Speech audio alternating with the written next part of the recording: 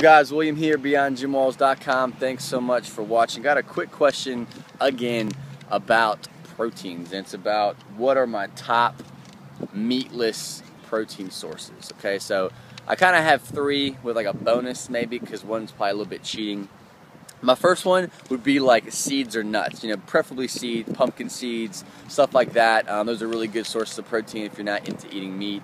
Um, nuts and stuff get a bad rap when it comes to the fat content and people overindulge and you know, people just go crazy. But nuts and seeds probably one of my number one um, source when it comes to the proteins, meatless.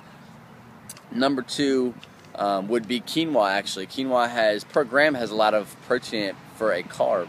Um, I think that's a um, or a grain, whatever you want to call it.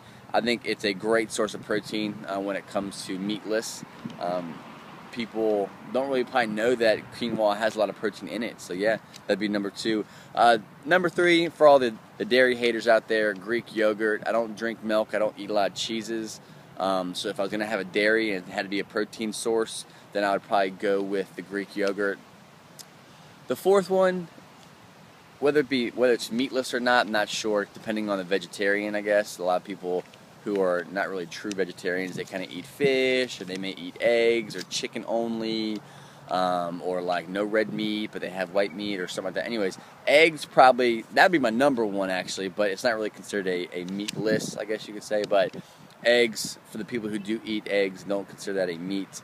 Eggs are awesome. The number one. So that's it three and maybe a bonus of four my meatless protein sources great sources of places you can get good protein from Thanks for watching, guys. William, BeyondGymWalls.com. Hope you guys have an awesome, awesome day. Peace.